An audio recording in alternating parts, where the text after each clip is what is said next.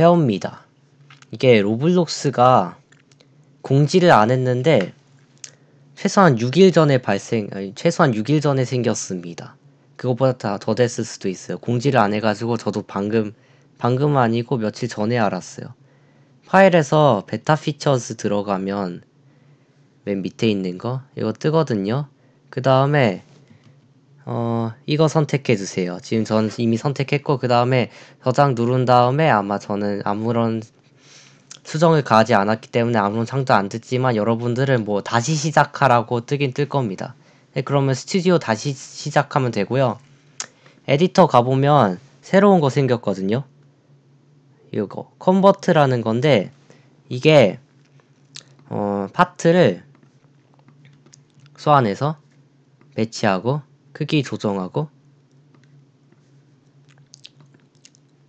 재료 선택하고 어 뭐야 안돼? 더 크게 하겠습니다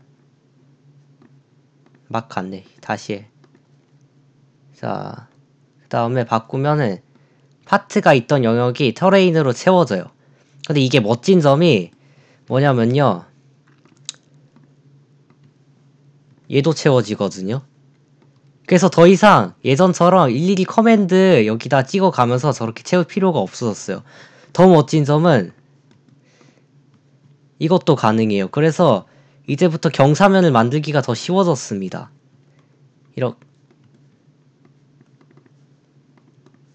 베타 버전이라서 어, 좀 예, 버그가 많습니다만 그래도 쓸만해요.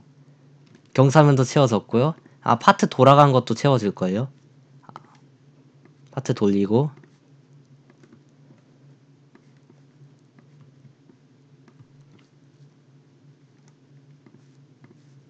아 또 막 갔네. 짜잔. 멋지지 않습니까?